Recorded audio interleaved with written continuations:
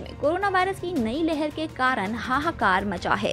इसी मामले पर सोमवार को मद्रास हाई कोर्ट में सुनवाई हुई।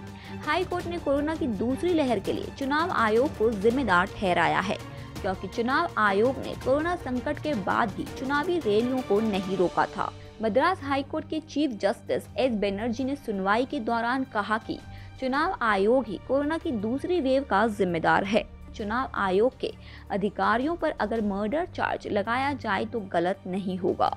अदालत में जब चुनाव आयोग ने जवाब दिया कि उनकी ओर से कोविड गाइडलाइंस का पालन किया गया वोटिंग डे पर नियमों का पालन किया गया था। इस पर अदालत नाराज़ हुई और पूछा कि जब प्रचार हो रहा था, तब क्या चुनाव आयोग दूसरे प्लेनेट पर था? अदालत ने इसी के साथ चेतावनी दी है कि अगर 2 मई को कोविड से जुड़ी गाइडलाइंस का पालन नहीं हुआ और उसका ब्लूप्रिंट नहीं तैयार किया गया तो वह मतगणना पर रोक लगा देंगे। अदालत ने सुनवाई के दौरान कहा कि स्वास्थ्य का मसला काफ़ी अहम है, लेकिन चिंता की बात यह है कि अदालत को ये याद दिलाना पड़ रहा है।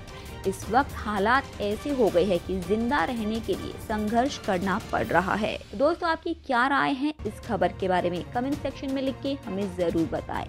साथ ही वीडियो को लाइक करें, अपने फ्रेंड्स और फैमिली के साथ शेयर करें और चैनल को सब्सक्राइब करें। धन्यवाद।